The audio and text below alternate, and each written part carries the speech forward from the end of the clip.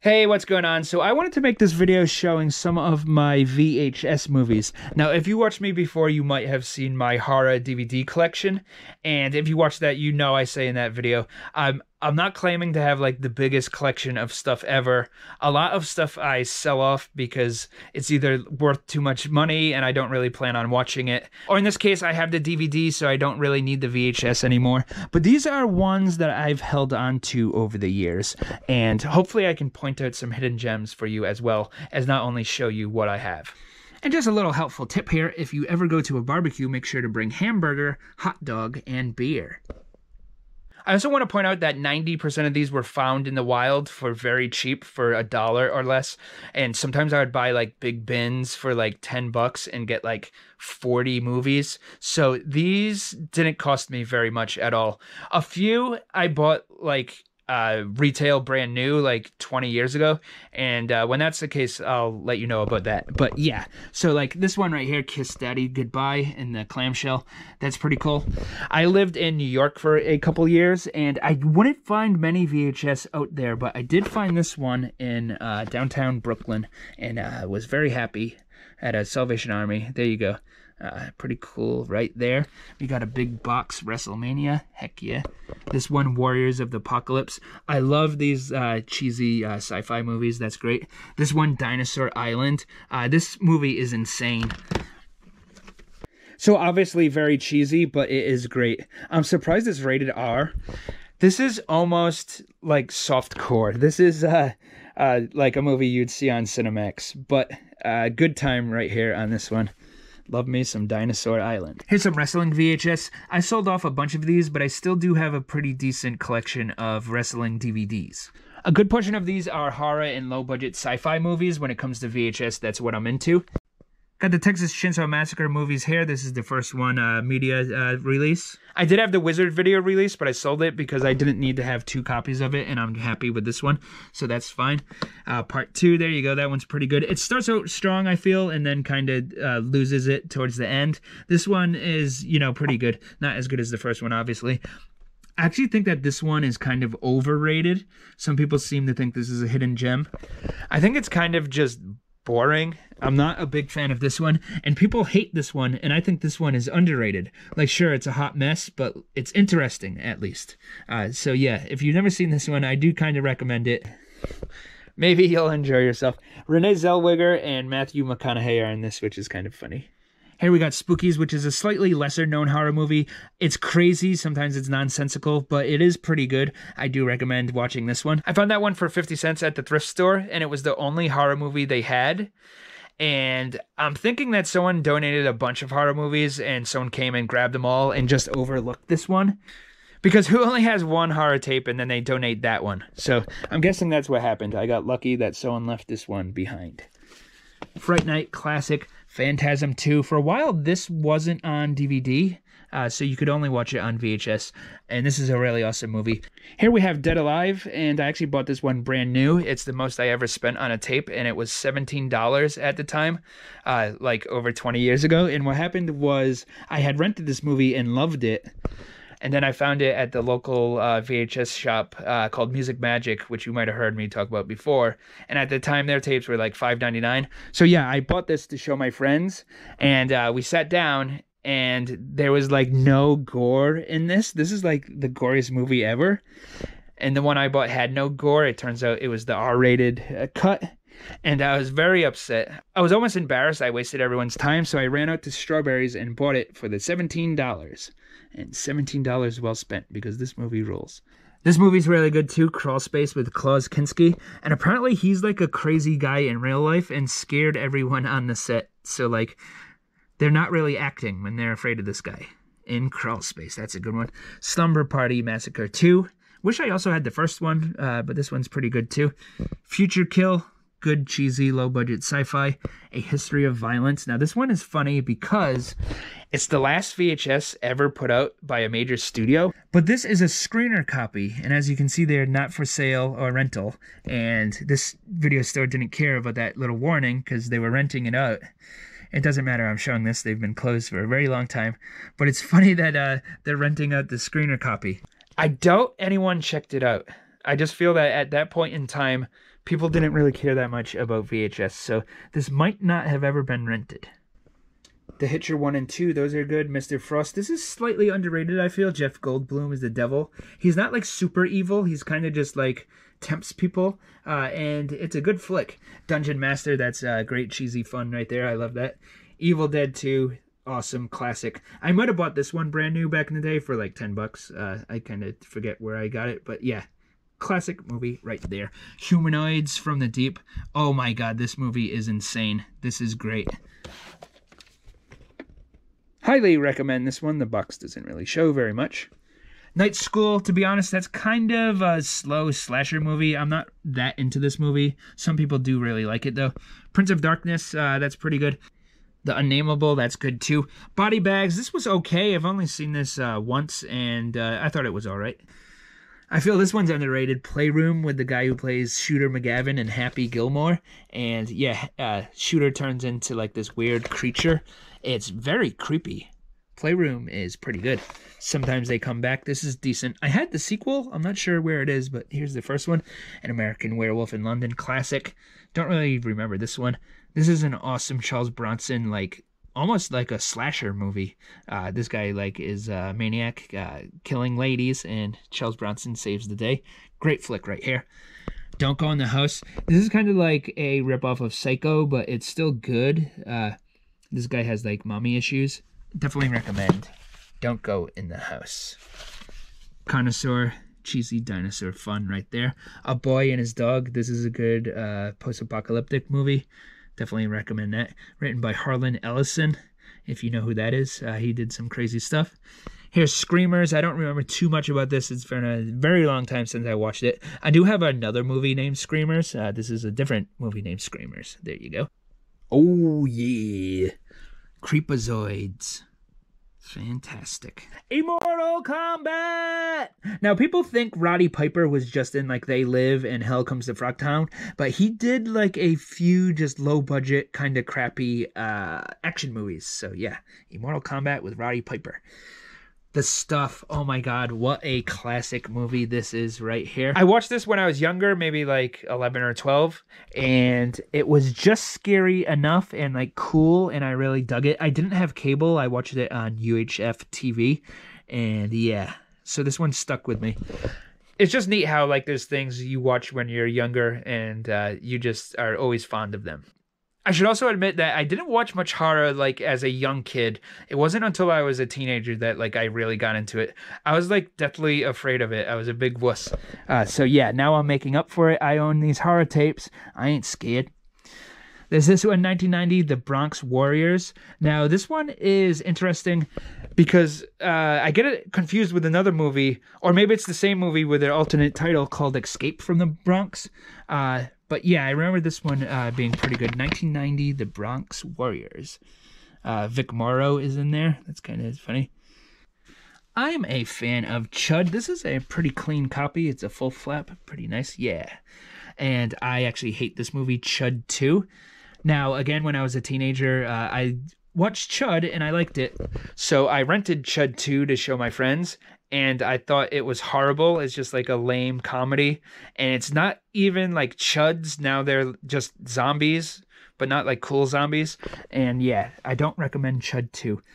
What's funny about Chud 2, though, it does have that guy, what's his name? Uh, Robert Vaughn, who is in the D'Oliveira and Morgan uh, lawyer commercials. I was uh, found that funny maybe if you're not from New England, you've never heard of that law firm, but he, I think that he does commercials for other lawyers as well, or at least he did, you know, in the late 90s.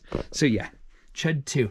There's this one, School Spirit, and wow, you can't make movies like this anymore. There's a ghost, and look, he's trying to take away the woman's towel. She wants the towel, she wants to cover herself up. The ghost is like, nope, not gonna let that happen. This is like the fifth or sixth best movie about a perverted ghost. So if you like movies about perverted ghosts, then this is right up your alley. Actually, remember it's boring and dumb, uh, but the cover is something else. Hello, Mary Lou Prom Night 2. Now, this movie is better than the first Prom Night, as far as I'm concerned. This is more like, you know, like paranormal uh, type stuff happening Uh, the first one is just like a slasher movie. Uh, but yeah, this is really good. I recommend Hello, Mary Lou Prom Night too. Buried Alive, uh, this is kind of a underrated movie, I feel also. Jennifer Jason Lee buries her husband alive. Does he escape and seek revenge? You'll have to watch yourself and find out. Critters. This is another one I watched when I was little. I was like kind of afraid of it, but it's not that scary. It's basically like uh, Gremlins, maybe a little bit more hardcore than Gremlins. Uh, but yeah, Critters is awesome. Invasion of the Body Snatchers. American Cyborg Steel Warrior. This movie is awesome. This is basically like if you combined uh, Cyborg and the Terminator, but I think it's better than Cyborg. Uh, definitely recommend you track down this movie right here. It's great. Doll Man versus Demonic Toys. That's okay. I haven't watched this one. Christine Classic. Uh, you know, this one is what it is. I'm a, I'm pretty sure it's a student film. Stephen King would help out student filmmakers by letting them adapt his work. And the conditions, I think, were uh, it can't already be like something that's a movie, and they have to pay him one dollar. And I'm pretty sure that's the case with this. They also weren't allowed to profit off of this, but I'm pretty sure Stephen King liked it so much that he let him put it out, or they collabed on that. I didn't really like this that much. I thought it was kind of boring, but yeah, interesting. This guy he directed like uh, The Fog and Shawshank Redemption. Yeah, Freddy Krueger. This guy's wicked scary. Tales from the Dark Side, Dead Ringers. Not my favorite Cronenberg movie, but people do really like that. Pet Sematary 1 and 2, great movies. Monkey Shines a little too long, to be honest. I feel that's the case with a lot of George Romero stuff. He has that one Knightriders about people who ride motorcycles and they joust each other at medieval fairs, and it's two and a half hours. Why is it so long? Gator Bait, I definitely used to stare at this cover as a little kid at the video store, and it's a pretty good movie, good exploitation movie. This is pretty good. I remember Cronos, uh, Guillermo del Toro's first movie. This is halfway decent. This is good actually. Uh, Cyborg, it's okay. I, I kind of feel that this is a little boring at parts, uh, but yeah, obviously uh, people do really like it. Not my favorite Van Damme movie. Strike Commando. This is very cheesy. There's a very cheesy scene uh, where there's like a he's holding a dying little kid, and he's telling them how they're going to go to Disneyland uh, you should look it up on YouTube because it's so ridiculous. This movie right here, Stranded, is so underrated. I think it's so good. Aliens come down and, you know, uh, become friends with this family, and they kind of have a standoff with the police, and it's really good. I'm surprised more people don't talk about this. Highly recommend Stranded. River's Edge, that's classic. Got these. She, that's a pretty good, uh, you know, sci fi, low budget movie. Now, this movie right here, See No Evil, is a ripoff of this movie right here, Wait Until Dark. They're like basically the same thing. Uh, but both of these are, are worth watching. Conan. Sleepwalkers. This movie has a really good soundtrack and it's halfway decent of a movie. I recommend that. This is probably the second best Chuck Norris movie, missing in action. Action Jackson probably has the best one liner in any action movie ever. Carl Weathers is taken prisoner. He's being like tortured by a guy, and the guy's like, "Ooh, it's a shame you're not going to be able to make it to our barbecue." And then later, Carl Weathers he gets out and he gets a bazooka and he finds the guy and and he goes, "Oh, so about that barbecue, how do you like your ribs?" And shoots him in the chest with a rocket. I don't remember too much about these two movies right here. I don't remember too much about Fortress either, but I remember liking it. I Come in Peace. Uh, this is maybe the best, uh, you know, starring Dolph Lundgren role that he has, and uh, this one is really good too. Army of One. Definitely recommend both of these if you like action movies. The Skateboard Kid. I wanted to like this a lot because of how just stupid it is, uh, but it gets really boring. But yeah, it is dumb. Dom DeLuise plays a talking skateboard well, I mean, he's he doesn't play the skateboard; he just voices it. But yeah, this isn't as good as I was hoping it would be. But this movie right here is fantastic. Oh my god, I love this movie so much. They would play this on cable a lot. I didn't have cable, but I slept over a friend's house and we watched this early in the morning at a sleepover. And we were like super amped after watching the big downhill race at the end. Uh, we wanted to like do that too, but we didn't have rollerblades. We had like old Nash skateboards. So yeah, we were riding down the hill on like skateboards inspired by this movie. The ending of this movie, the downhill race, is just ripped off from the movie Thrashin', which they ripped off from the movie uh, Skateboard, the movie. So it's not very original, but fantastic flick right there. And I'm pretty sure this isn't on DVD, or at least not in the United States. I could be wrong. This movie, The Hidden, is absolutely fantastic. I feel the cover doesn't really show you how great it is, but you definitely need to track this one down. It's about an alien who comes to Earth and he likes heavy metal music and he likes driving like uh, Ferraris and Porsches and stuff, and he goes around like robbing and killing people. And Kyle MacLachlan here, uh, he has to stop him. Uh, and yes, highly, highly recommend this movie. Got more over here. Fun times. Oh, yeah. This movie is also very underrated.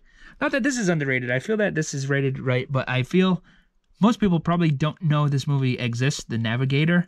This is about people from medieval times. They come to modern time. It's like a serious take on what it would be like if people from uh, medieval times came to current times, uh, and it's really good. No Retreat, No Surrender, a very early Jean Claude Van Damme role. He's not really in the movie very much. It's just kind of an action movie, and, you know, it's fun for what it is. I like these movies, uh, The Substitute uh, 1 and 2. Yep. Fraternity Vacation. I want to love movies like this. Usually they're very bad but entertaining anyways. And uh, yeah, that's where this one falls. And Tim Robbins is in this. I'm sure he's like not proud of that, but you know, there it is. Deliverance, classic, and not as popular Southern Comfort. This is also very, very good. Love this movie right here. And this one is so underrated. Most people probably never heard of this movie, but it is great. Shy People. You got a young Martha Plimpton. You have Donald Swayze, Patrick Swayze's brother. And he's kind of just like looks like Patrick Swayze, but just a little bit off. He's like the bizarro world uh, Patrick Swayze. And this movie is fantastic. Highly recommend this one. Uh, they're like Bayou people, and like you know Martha Plimpton and her family are from the city, and they come visit, and bad things happen. Here's the other Screamers I was talking about. Uh, I probably enjoyed this version of Screamers more. This is a sci-fi, and that other one is a horror one. And yeah, this is pretty good. Rolling Thunder. I tracked this down because uh, Tarantino always, uh, you know, says how awesome it is, and it is a good movie. I don't think I like it quite as much as he does, but it's definitely worth watching. Rolling Thunder, good flick. The Gladiator. This is a Abel Ferrara movie that he made for television, and even though it's made for television, it's still good. No Hold Bars, uh, classic right there. Uh, very cheesy, but good time. I love uh, Hulk Hogan movies. They're so bad, they're good and uh, this is so bad it's good. Also, Kiss meets the Phantom of the Park.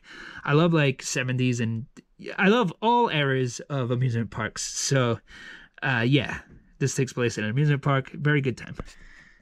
Mr. Majestic, this is an underrated action movie, uh, one of Charles Bronson's best, highly recommended. Under Siege 2, this is uh, surprisingly better than you think it would be, and recommend that one. Thief, this is Michael Mann's first movie and a good time. Tangerine Dream does the soundtrack, and it's really good. This movie is hilarious. Waiting for Guffman. I think this movie is kind of underrated. It's Pat. Obviously, you couldn't get away with this movie nowadays, but like, do you really want to make this movie nowadays? Uh, what really pushes this over the edge is Charles Rocket's performance. He's obsessed with Pat, and it is a thing of beauty. Uh, his performance is so funny in this. Uh, the movie is like kind of cringy, obviously, but uh, yeah. So if you enjoy that type of thing, like I do, you should watch It's Pat. I also think this movie is very underrated. This movie you should track down. The Blood of Heroes. It's a crazy like it's post-apocalyptic, but it's not really like an action movie. It's a post-apocalyptic sports movie about a made-up sport that's kind of like American Gladiators meets like football, and it involves like a cow's skull as the ball. Uh, it's very strange, but it's good. And so it's a sport. These guys are the defenders. I think they're swinging chains at each other. I highly recommend tracking this one down. Nowhere to Run. This is uh, another good kind of obscure action movie, just like well made and stuff. Uh, this woman, uh, you know, has to defend herself. Recommend that one. Another Hulk Hogan movie, Thunder in Paradise. So this was a show, and I think this is just the pilot. And uh, they made a movie of the pilot. Kickboxer, kind of like just not quite as good as Bloodsport, but still awesome. In Summer School, that's a classic. The stepfather, Terry O'Quinn, plays a crazy guy. Terry O'Quinn was uh, John Locke from Lost, uh, and his performance is very good. Uh, highly recommend this movie. The Jerky Boys, the movie. This is bad, uh, but if you like bad movies, you might get a kick out of this, like I did. Escape from New York. Uh, very clean copy there. Yeah. Needful Things. No Escape. Troma's War. Uh, this is one of the better Troma movies. More of a action movie. Usually they make just like straight horror ones. Not straight horror, but like horror comedies. And this is more just an action movie. Uh, and that's pretty good. This is good too. Wolf is good. The Funhouse. Really good. Yeah. American Gothic. Slightly underrated horror movie right there. This is a good Joe Dante movie, Matinee. Here we have some James Belushi movies. James Belushi kind of comes across as like a sleazeball, but uh, he is good in these types of roles. Uh, this one is kind of underrated, The Principal. I don't hear many people talk about this movie, Stunts. That's a good time. The original, Gone in 60 Seconds. This is amazing. The plot is very bad, but once you get over that, it's like an hour long car chase. It's must see cinema right there, gone in 60 seconds. Heck yeah. I don't think I ever watched this one. The Ripper, I heard it's not very good. So this one, Orgazmo, I bought this one brand new at Best Buy way back in the early 2000s. Uh, you know, probably was like $11 or so. I used to love going to Best Buy, and I had a DVD player, but like a lot of times I would buy the VHS because they were a few bucks cheaper. And then a few years later, I was like, oh, I should have just bought the DVDs. And I was mad I had the VHS. But now I'm happy I actually bought the VHS copies. So, yeah, that's a funny movie right there. Super Cop, amazing. Rush Hour.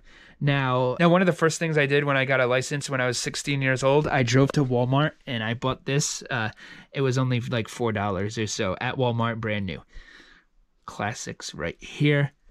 This is good. Uh, I've read some of the books and they're pretty good, and I like this too. Uh, this like BBC TV show adaptation, classic '80s movie right here. Good. Here's some, uh, you know, rare uh, Tom Green tape. That's pretty cool. What's it called? Raw meat and rare treats. Yeah, from when he was on public access, I think. I got this Teen Spirit, a tribute to Kurt Cobain. This is just like interviewing people who were a fan of Kurt Cobain. It's not the greatest thing ever. I think that I got this free, like from a mail away. Uh, it's okay. There's no Nirvana music in this or anything, and very little footage of Kurt Cobain. Winners Take All. This is an underrated motocross movie. Movies like Rad have a huge cult following. Rad is about BMX and like Thrashin' is about skateboarding. Those movies have a huge cult following. I feel no one really talks about this one, uh, but it is pretty good for what it is and worth watching. These are okay as well. Nothing too groundbreaking there. Missing in action too. This is slightly underrated. A lot of people don't think this is very good, but I think it's all right. Memoirs of an Invisible Man. That Darn Punk. Uh, members of the punk group The Vandals. I was a big fan of them. They put out this movie. I've only watched this once, so I'm assuming I didn't like it very much. I don't really remember too much about it. These Elvira ones. Uh, now, people seem to talk about this one from time to time, uh, and it's, uh, you know, considered pretty good. I don't really hear people talk about this one. And this is good too. I recommend watching Elvira's Haunted Hills. Yeah. And this one, Rubin and Ed, it came in just a blank sleeve. And I'm pretty sure the director of this movie sold it to me on eBay. So, because this isn't on DVD, it was hard to find, and I'm pretty sure the director was just making his own copies of this. I've been talking for a long time. I'm going to take a break. This is going to be a two part video. I do appreciate you watching. So, uh, you know, like and subscribe, and uh, you'll see the next one maybe next week, maybe earlier than that. I'm not exactly sure. But yeah, like and subscribe. And I didn't show all the good ones up top. There's still uh, plenty of good stuff to go through. So I appreciate you watching. Okay, see you next time.